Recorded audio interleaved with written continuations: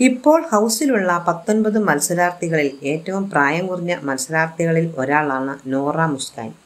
കോഴിക്കോട് സ്വദേശിയായ Nora Muskan digital ക്രിയേറ്ററാണ് social media influencer traveller modelling തുടങ്ങി വിവിധ മേഖലകളിൽ തിളങ്ങിയ ആളാണ് നോറ. നോറ യൂട്യൂബ് ചാനൽ തുടങ്ങി അധികമായില്ലെങ്കിലും ഒട്ടനവധി സബ്സ്ക്രൈബേഴ്സ് താരത്തിനുണ്ട്. ഷൈബൽ സാദത്ത് എന്ന പേരുള്ള നോറ കഴിഞ്ഞ ദിവസം മോർണിംഗ് ടാസ്കിന്റെ ഭാഗമായി തന്റെ ജീവിതത്തെക്കുറിച്ചും തകർന്ന ദാമ്പത്യത്തെക്കുറിച്ചുമെല്ലാം വെളിപ്പെടുത്തിയിരുന്നു. ഇരുപതുകളുടെ തുടക്കത്തിൽ തന്നെ നോറ വിവാഹിതയായിരുന്നു. പക്ഷേ വിവാഹ ജീവിതം വിജയകരമായിരുന്നില്ല. അത് മാത്രമല്ല തനിക്ക് ഡിവോഴ്സ് തരാൻ മുൻ ഭർത്താവ് തയ്യാറാവുന്നില്ല എന്നുമാണ് തന്റെ ജീവിതകഥ വിവരിച്ച് നോറ ബിഗ് ബോസ് ഹൗസിൽ പറഞ്ഞത്. ഇപ്പോഴിതാ നോറ ഷോയിൽ പറഞ്ഞതിൽ ചിലതെല്ലാം കള്ളങ്ങളാണെന്ന് വെളിപ്പെടുത്തി എത്തിയിരിക്കുകയാണ് താരത്തിന്റെ മുൻ ഭർത്താവ്. സോഷ്യൽ മീഡിയ പേജിലാണ് മുൻ ഭർത്താവ് തെളിവുകൾ അടക്കം നിരത്തി വിശദീകരണ വീഡിയോയുമായി എത്തിയത്. കുറേ ദിവസമായിട്ട് എന്താ ഞാനും എന്റെ ഫാമിലിയും ഫേസ് ചെയ്യുന്നുണ്ട്. മെയിനായിട്ട് പറയുകയാണെങ്കിൽ എന്റെ അഭിമാന പ്രശ്നമാണ്. ഓക്കെ അതെന്താ വെച്ചാൽ ലക്ഷക്കണക്കിന് ആൾക്കാർ വ്യൂ ചെയ്യുന്ന ഒരു ചാനലിൽ ഇപ്പോൾ ഒരു പ്രോഗ്രാം നടന്നുകൊടുക്കുന്നുണ്ട് ബിഗ് ബോസ് അതിൽ ഒരു വ്യക്തി വ്യക്തി ആരാന്ന് ഞാൻ പറഞ്ഞുതരാം. ഒരു വ്യക്തി ചില കാര്യങ്ങൾ പറഞ്ഞുകൊണ്ട് എന്താ പറയുക ആൾക്കാരെ കബളിപ്പിക്കുന്നുണ്ട്. അപ്പോൾ അതിൽ ഞാൻ ഇപ്പം റിയാക്ട് ചെയ്തില്ലെങ്കിൽ പിന്നെ എപ്പം റിയാക്ട് ചെയ്യാനാണ് എന്റെ ഫാമിലി സപ്പോർട്ടും ഫ്രണ്ട്സിന്റെ സപ്പോർട്ടും കസിൻസ് എല്ലാവരും എന്താ പറയുക എനിക്ക് മെസ്സേജ് അയച്ചു വെച്ചിട്ടുണ്ട്. നീ എന്തുകൊണ്ട് റിയാക്ട് ചെയ്യുന്നില്ല? എന്തുകൊണ്ട്?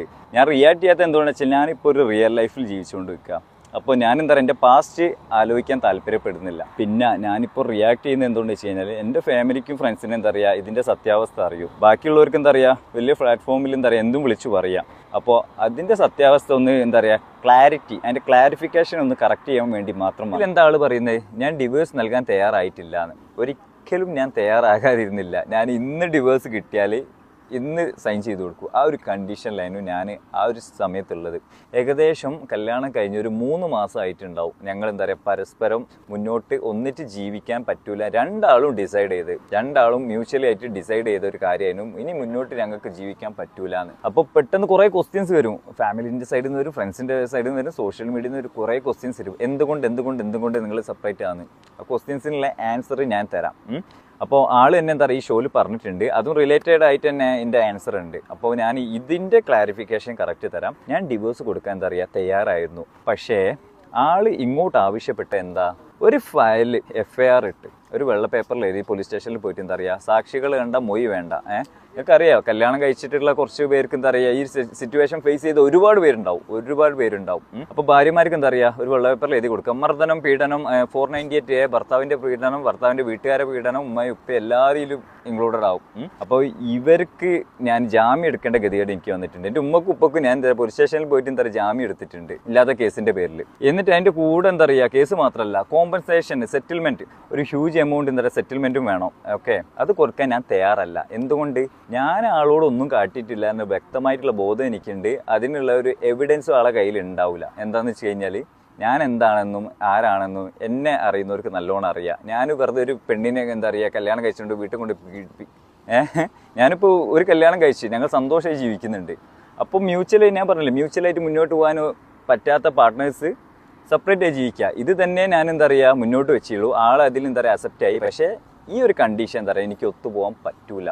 ഇപ്പം എന്റെ ഉമ്മന്റെ പേരിൽ എല്ലാവരും ഒരു കേസ് ഇടുക കോമ്പൻസേഷൻ ഇത് ഇത് സെറ്റിൽമെന്റ് ചെയ്തിട്ട് എന്താ പറയുക ഒരു ഡിവോഴ്സ് ഏഹ് ഞാൻ ആളോട് ഇത് മാത്രമേ പറഞ്ഞുള്ളൂ. ഈ കേസ് പിൻവലിക്കണം. ഇത് രണ്ടാളും മ്യൂച്വലായി ഡിസൈഡ് ചെയ്തതല്ലേ പിന്നെ എന്തിനാണ് കോമ്പൻസേഷൻ പിന്നെ എന്തിനാണ് എന്റെ പാരൻസിന്റെ പേരിൽ കേസ് എന്റെ പേരിൽ കേസ് അപ്പോൾ ഞാൻ എന്താ പറയുക ഡിവോഴ്സ് ഡിവോഴ്സ് കിട്ടിക്കഴിഞ്ഞാൽ എന്താ പറയുക ഇത് ഇവിടെ വെച്ച് വൈൻഡപ്പ് ചെയ്യാൻ പറ്റും എന്നുള്ള കണ്ടീഷൻ ഞാൻ അങ്ങോട്ട് വെച്ച്. അപ്പോൾ ആൾ എന്താ പറയുക ഓക്കെ ആയില്ല. ഏകദേശം ഒരു വർഷം എടുത്തിട്ടുണ്ട്. ഏഹ് ആൾ ഓക്കെ പറയാം. ഓക്കെ എന്റെ കയ്യിൽ നിന്ന് കോമ്പൻസേഷൻ കിട്ടൂല എന്ന് മനസ്സിലാക്കിയപ്പോൾ ആൾ എന്ത് ഓക്കെ മ്യൂച്വലായിട്ട് ഡിവോഴ്സ് ചെയ്യുക അത് അങ്ങനെ തന്നെ ക്ലോസ് ചെയ്യുകയും ചെയ്യും. അതിനുശേഷം ഞാൻ എന്ത് ചെയ്ത്? എന്റെ ലൈഫ് അവിടെ തീർന്നിട്ടില്ല. ഞാൻ പോയി. ഞാൻ എന്താ പറയുക നാട് വിട്ട് ഇപ്പോൾ യു എയിലാണുള്ളത്. ഞാൻ അന്ന് പോയിട്ടുണ്ട്. അന്ന് പോയി ഒരു പത്ത് മാസം കൊണ്ട് അലഹമില്ല കുഴപ്പമില്ലാത്ത രീതിയിൽ ഞാൻ എന്താ പറയുക സെറ്റിലായിട്ടുണ്ട് പഠിച്ചോൻ കൂടെ നിന്നിട്ട് എന്താ പറയുക എന്റെ കൂടെ നിന്നിട്ട് എന്താ പറയുക എന്നെ കൈ പിടിച്ച് ഉയർത്തിയിട്ടുണ്ട്. അതിന്റെ റിസൾട്ടായിട്ട് എനിക്ക് എന്താ പറയുക എന്നെ മനസ്സിലാക്കുന്ന ഒരു നല്ലൊരു ലൈഫ് പാർട്ണർ എനിക്ക് കിട്ടിയിട്ടുണ്ട്. ആളെ കൂടെയാണ് ഞാൻ ജീവിക്കുന്നത് ചെയ്യുന്നത്. അപ്പോൾ ഇങ്ങനത്തെ ഇഷ്യൂസ് നടക്കുന്നേരം എന്റെ ഫാമിലിനെ എനിക്കും എന്റെ പാർട്ട്ണറിന്റെ ഫാമിലി എത്രത്തോളം എഫക്റ്റ് ചെയ്യും? ഇനി നിങ്ങൾക്ക് ചോദിക്കാനുള്ള ഒരു ക്വസ്റ്റ്യൻ ഇതായിരിക്കും എന്തുകൊണ്ട് ഡിവോഴ്സായി ഡിവോഴ്സ് ആകാൻ എല്ലാവർക്കും അവരായ റീസൺസ് ഉണ്ടായിരുന്നു. എനിക്കും എന്റെതായ റീസൺസ് ഉണ്ട്. വ്യക്തമായുള്ള റീസൺ ഉണ്ട്. അറിയുന്നത് എന്താണെന്ന് വെച്ച് കഴിഞ്ഞാൽ ഞാൻ സോഷ്യൽ മീഡിയയിൽ വളരെ ആക്റ്റീവ് ആയിട്ടുള്ള ഒരു ഗേളാണ് അപ്പോൾ അതിൽ കൂടി എന്താ പറയുക ആൾ കുറച്ച് ഏണിങ്സ് അതായത് ഹ്യൂജ് എമൗണ്ട് ആൾ എടുത്തു പറയുന്നുണ്ട് ഹ്യൂജ് എമൗണ്ട് ഉണ്ടാക്കിയിട്ടുണ്ട്. ആ ഹ്യൂജ് എമൗണ്ട് കൊണ്ട് ആൾ എന്താ പറയുക സ്വന്തമായിട്ട് ഒരു വീട് ഉണ്ടാക്കി. സോ ഒരു വീട് ഉണ്ടാക്കണമെങ്കിൽ നിങ്ങൾക്ക് അറിയാം അത്യാവശ്യം ലാക്സും കാര്യങ്ങളും വേണം. ചെറിയ വീടല്ല. അപ്പോൾ അത്യാവശ്യം നല്ലൊരു ഹ്യൂജ് എമൗണ്ട് കിട്ടിയിട്ട് ആൾ വീടും കാര്യങ്ങളും ഉണ്ടാക്കി. ഒക്കെ പറഞ്ഞിട്ടുണ്ട്. പക്ഷെ വേറൊരു കാര്യം കൂടി ആൾ പറയുന്നുണ്ട്. ആ വീട്ടിലേക്ക് സ്വന്തം ഉപ്പ ഇതുവരെ കാൽ വെച്ചിട്ടില്ല സ്വന്തം ഉപ്പ ആ വീട്ടിലേക്ക് കയറിയില്ല. എന്തുകൊണ്ട്? നിങ്ങളുടെ പാരൻസ് അങ്ങനെയാണോ അല്ലെങ്കിൽ എന്റെ പാരൻസ് എല്ലാവർക്കും പാരൻസ് ഉണ്ട്. നമ്മൾ എന്തെങ്കിലും ഒരു കാര്യം ഏണീസ് അല്ലെങ്കിൽ നമ്മൾ ജോലി ചെയ്തിട്ട് ഒരു എന്താ പറയുക മാസ ശമ്പളം ഒരു പതിനായിരം രൂപ കിട്ടി അവർക്ക് ഭയങ്കര പ്രൗഡ് മൂവ്മെന്റ് ആയിരിക്കും. അല്ലെങ്കിൽ നമ്മൾ കാറ് വാങ്ങി അല്ലെങ്കിൽ സൈക്കിൾ വാങ്ങി വീട് വെച്ച് ഇതൊക്കെ എന്താ പറയുക നമ്മൾ പാരൻസിന് ഭയങ്കര പ്രൗഡ് മൂവ്മെന്റ് ആയിരിക്കും. എന്തുകൊണ്ട് ഈ ആളെ പേരന്റ് ആ വീട്ടിലേക്ക് കയറാത്തേ? ആൾ പറയുന്നുണ്ട് സോഷ്യൽ മീഡിയയിൽ കൂടി കിട്ടിയ പണം കൊണ്ടായത് കൊണ്ടാണ് എന്താ കയറാത്തത്. ഓക്കെ സോഷ്യൽ മീഡിയയിൽ കിട്ടിയ പണങ്ങൾ നമുക്കൊന്ന് ചെക്ക് ചെയ്യാം.